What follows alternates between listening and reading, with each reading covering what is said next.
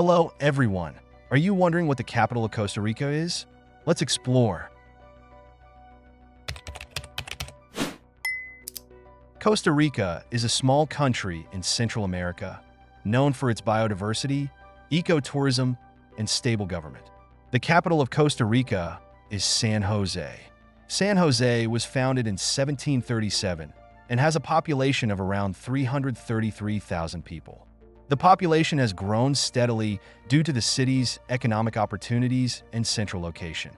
The average salary in San Jose is about 1,000 US dollars per month, with most people working in services, tourism, and finance.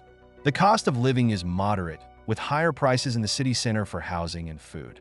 San Jose has a tropical wet and dry climate, with a rainy season from May to November.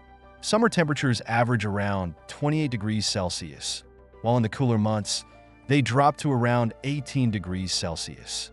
The city is located in the Central Valley, surrounded by mountains, making it a scenic area with access to both coasts of the country. Please like the video and leave a comment to support my job. Thank you for watching and see you later.